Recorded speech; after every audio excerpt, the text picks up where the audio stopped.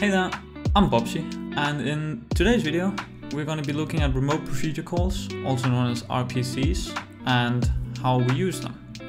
So if first of all, if you're not familiar with the scene right here, we made this in the previous video with the network manager setup and also with the player that's networked. If you haven't seen that video, I much recommend going back and watching that. Now that being said, let's look at how we can use a remote procedure call.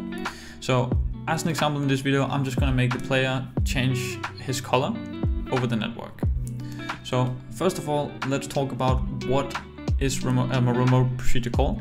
So basically a RPC is a way to call a function over the network. It's a way that you can either tell the server or you can tell all the network observers that you're running this function.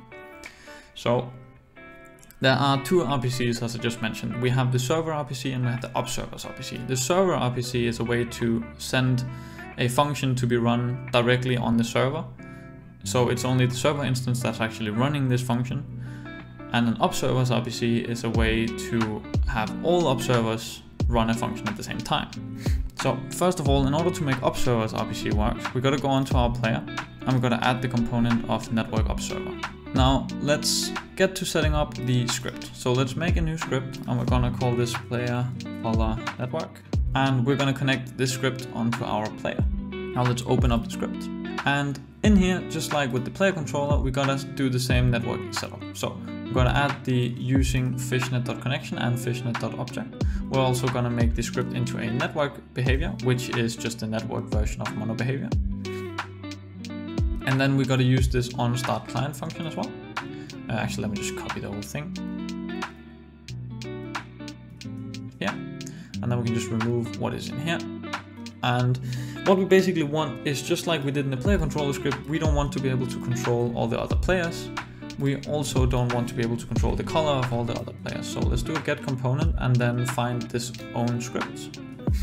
Dot enabled equals to false. Now what we're basically saying here, just to make it short, is that are we the owner? Then we do nothing. But if we're not the owner of this object, we want to disable the script as to not be able to control something on an object we're not owners of. So first of all, we need some variables. We did our player setup with the player being individual from his bean body. Uh, as you can see here, this is his body and this is him. So he doesn't actually hold the renderer. So first of all, we need a public reference to him or to the body, I mean. So we're gonna do game object and then just call it body. And then we also just need to be able to set whatever color that we want to switch to. So let's just call that end color. Now we want to be able to do this by the press of a button. So let's just do an update loop where we say input.get key down, key code, whoops, key code dot f. So just if I'm pressing F, I'll run whichever function I input here. So now let's actually make the function. And the way this gotta work is that first of all, we gotta have a function that lets all the observers know that we're running this function. But we also wanna make sure that the server is the one pushing out this function to everybody. So what we firstly wanna do is let's make the observers RPC where we're actually gonna make the color change. So let's do a public void change color. And the, the thing that's a little bit unique about um, networking instead of just doing single player is in here we actually have a direct reference to the body. The thing is you cannot network that reference since the body doesn't actually hold the network object component like the player does. So what we gotta do is we actually gotta send through the player through the network since he holds the network object. And then once we've sent him, we can then get the player color network script and then get the reference to the body from that. So that's just a little bit of a workaround, but it's still super simple. So we just want to send game object and call that player. And we also want a color, which we're just gonna call color. And in this case, we want to do player dot get component, and we want to get the script because we want to get the reference to the body. So we're gonna do player color network, and then we're gonna do the body, then get component. We want the renderer of that, not render buffer. That's my mistake. Want the renderer, and then we want to do dot material dot color equals to the color that we're sending over the network. Now, I wish it was as easy as just saying change color and putting it in here, but it's not. We gotta send it to the server first and let the server know to push this out to every player.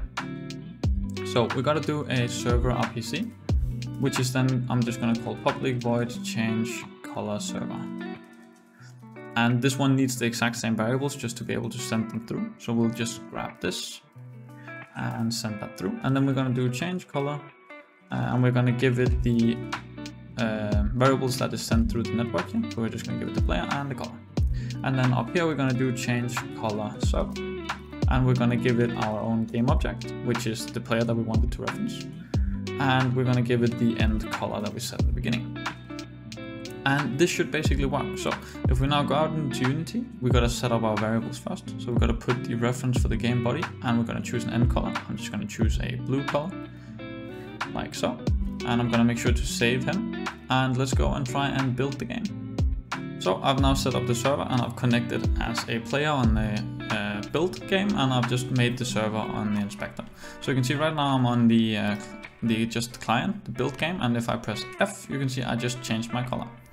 And if we go into the, whoops, into the Unity version and we're gonna press F and go back to our game, we can see he also changed color. So now this works and hopefully this gives you a bit of an idea of how you can use remote procedure calls to send functions, to send information and to do a whole bunch of stuff. You can do so much with this and you pretty much have the freedom to really just start making multiplayer from now. But in the next video, I am going to be talking about how you spawn and despawn objects over the network, so I definitely think that you want to watch that video as well to get an understanding. And in the video after that, we're going to talk about synchronizing variables, which is going to be much easier than having to set up a remote procedure call every time you want to synchronize something. So I see you in those videos and have a wonderful day.